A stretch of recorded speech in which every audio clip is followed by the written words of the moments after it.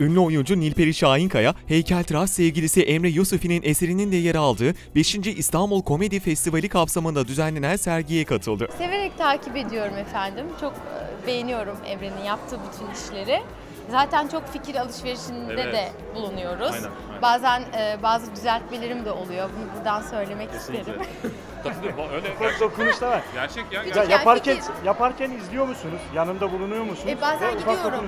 Tabii tabii. Yani atölyesine gidiyorum, bakıyorum. Tabii o süreçte hiç benim bir ufak dokunuşum olamıyor ama e, fikir olarak hani acaba bunu daha çok şöyle mi yapsan?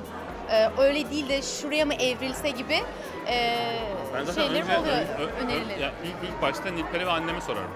Şahinkaya, Erşan Kuneri dizisinin ardından şu günlerde Cem Yılmaz'ın Isaac'le Bir Gece filminde rol alıyor. E, Isaac'le bir geceyi çekiyoruz Cem Yılmaz'ın yazdığı film.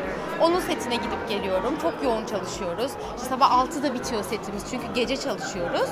E, ama acayip bir şey çıkıyor ortaya. Yani hele benim karakterim inanılmaz sıra dışı bir karakter. Nilperi Şahinkaya, Cem Yılmaz'ın bu kez komik bir film çekmediğini belirtti. Eğlenceli komik bir film değil bu. Karanlık bir film. Bayağı hatta psycho yani çok psycho sahneler çektik Cem'le. Benim sahnelerim öyle en azından. Ee, yani izleyiciyi, izleyici kendini böyle bir çok güleceğiz, çok komedi izleyeceğiz diye hazırlamasın.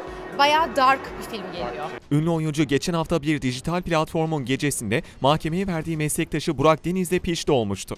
Nilperi Şahinkaya, Adana'da masasına gidip olay çıkaran Deniz'e karşı açtığı davadan vazgeçmeyeceğini vurguladı. Süreç devam ediyor. Savcı atandı. Ee, tabii böyle süreçler uzun sürüyor biliyorsunuz. Dolayısıyla araya bir zaman girdiği için insanlar bize soruyor geri adım mı attınız, vaz mı geçtiniz diye. Öyle bir şey yok. Biz e, geri adım atmadık. Sürecin sonuna kadar gideceğiz.